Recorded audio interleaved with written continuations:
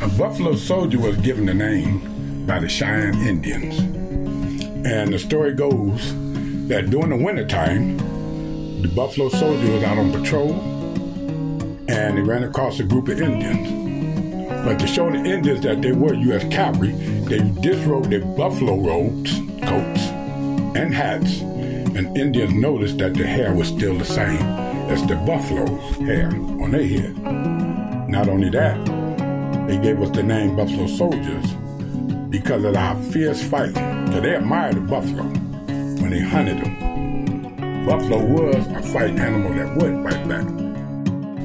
And that's how we got our name. We used the same formats, uniforms, and the history learned from them. We are teaching it. We are not reenactors what we're doing here with the Buffalo Soldiers of Seattle, we have a cadet program where we're bringing kids out to the ranch and we're teaching them history, horsemanship, and uh, outdoorsmanship.